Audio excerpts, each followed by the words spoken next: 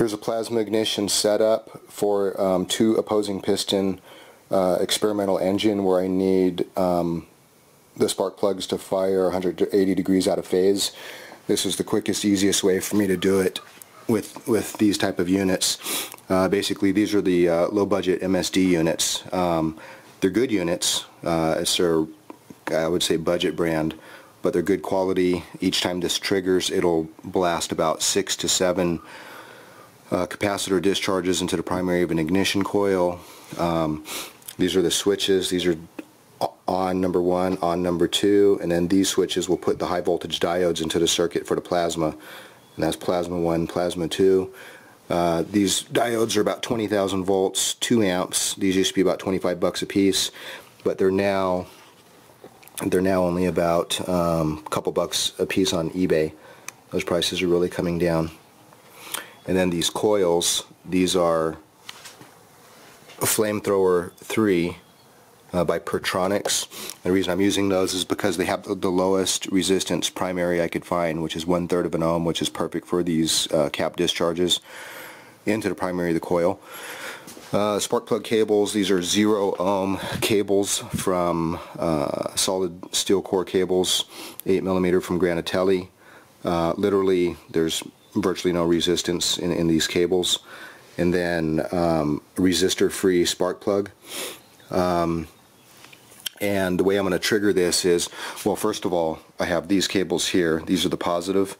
Uh, each one has a positive wire that goes to the battery, and each one has a smaller positive wire that's wired in series with one of the, the power switches, and that's where you give power off or on to these units. And then we have all the grounds grounded. Now the trigger, there's two different ways to trigger. Um, well, first of all, this gray wire here is for a tachometer, which is not going to be used. Uh, the gray or uh, green and purple, these two wires are for a magnetic pickup. And um, the route I'm going is using the regular white wire, which is a trigger, which basically when it gets dropped to ground, then it'll trigger. And so the white wire I have coming into this transistor, this is little TIP type transistor from Radio Shack. It was easy enough for me to get. And so the wires, that white wire is coming into the collector, out of the emitter, back to ground. And what's triggering it is across the base and the collector, I have this wire here, which is basically going to a reed relay. I'm not using the, uh, the coil part in here, I'm just using a reed switch and I'm going to use this old SG. This is the first one I ever made years ago. Um, I'm just using that magnet to swing by the reed switch to trigger it to simulate a magnet on a crankshaft where on this type of engine that this is going to be, um, uh, this prototype is for, it's only going to be one magnet on the shaft and so each time it comes around and triggers one of the one of the reed switches it'll fire that that respective plug. This has nine on or four magnets, but it's not going to make a difference. It's basically just showing the point. So anyway, we'll uh, start it up and uh, give a little demo here. Okay, so what I'm going to do is I'm going to run this thing. Um, this right here, I'm going to turn the power on.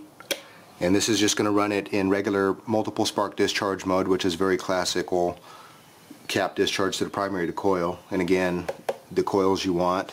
These are some of the best ones I've used. Flamethrower 3 by Pertronix these are 0.32 ohms or so per on the primary.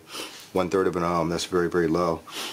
Um, look over here um, this is going to be grounded to the engine block because that's what the spark plug is going to be um, grounded to, so that's why I have these green wires, but normally this, that's going to be grounded to the engine.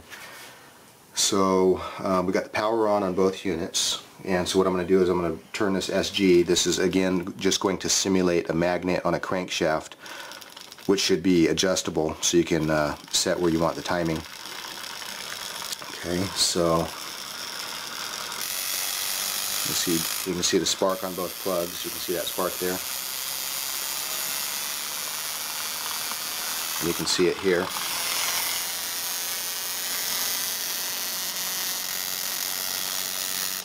And so it's important that with these reed switches you do not want them this way because that's not how it works. You want them this way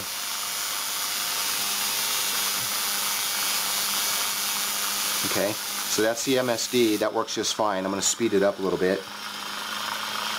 There's all these little nonlinear tuning zones in these um, transistors. For This is an MJL21194. And just as a side note, a lot of people are just letting it get up to speed by itself, but there's ways to manipulate the base to bring it in and out of these different zones, and you can you can switch gears and go faster and faster.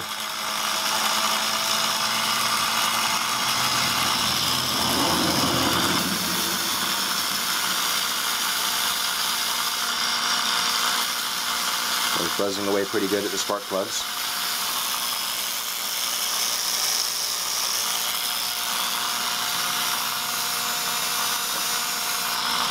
Okay. Now what I'm going to do is I'm going to switch on the plasma, which is going to be these outside ones here because that's going to turn, put the diodes in the circuit. So now we should be getting the plasma blasts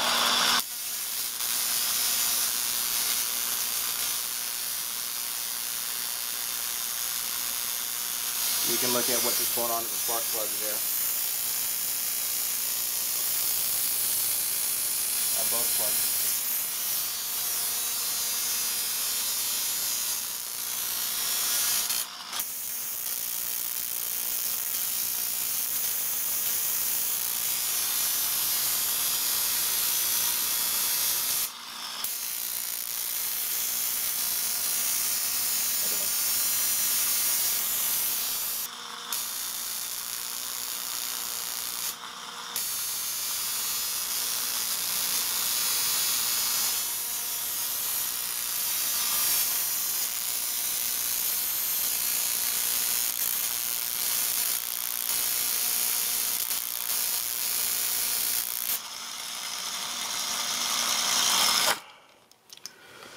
What's important to understand is that when you see the regular multiple spark discharge, it's not really that impressive, but for the exact same amount of joules of potential energy in the capacitor, just by putting one passive component in it, I can increase the power many, many, many times per discharge for the same energy because it's being it's causing a negative resistance effect across the whole circuit which is allowing the capacitor to discharge at an accelerated rate basically these are the power power cables. This black one and this red one that goes to the battery bank. This negative one here with the eyelet on it that gets grounded to the body. You have two of these reed switches. One goes to each unit to each um, coil and those are what you're going to have to mount 180 degrees apart from each other by some magnet spinning on the crankshaft and then these red wires here one wire is from each diode. That needs to go to the top of the spark plug inside the boot. Um, you just have to get cables that are long enough. You can uh, use cables that are meant for a capacitive discharge ignition. You can get them from any car parts store locally. I don't know what length or whatever you're going to need but um, this wire here needs to be connected to the top of the spark plug inside the boot. This one for this spark plug and this one for this spark plug. And that's about it. So just let me know if you have any questions.